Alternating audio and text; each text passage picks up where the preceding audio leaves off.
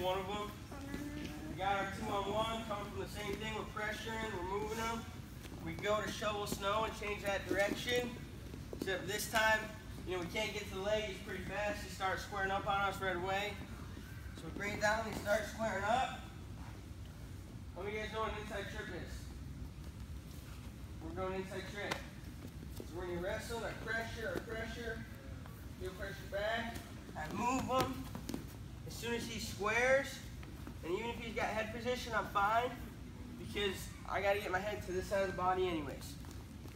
So as I start to go, the same thing we are doing with pushing this arm across, we're going to kind of do that same motion because I got to move the arm across his body. Move, move, he squares, bring this arm back up and across, my hand that's on the triceps going to release, I step in, it's called inside, and I'm going to trip, and like I said, my head's got to come to the same side, trip side. Now, when I go to trip, can I commit halfway and still finish this? No, I can't just step and try and hook his leg.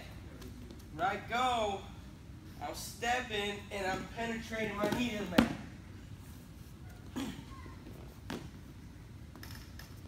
So we move him, squares on us, arm comes across his body, hand releases off the body or the shoulder, wherever we're grabbing right in here.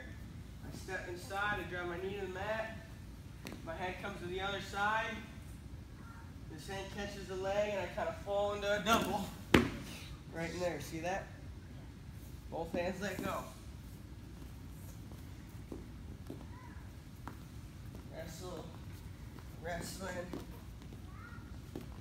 stepping, right gear trip. Score. Let's go out and try it. Ready?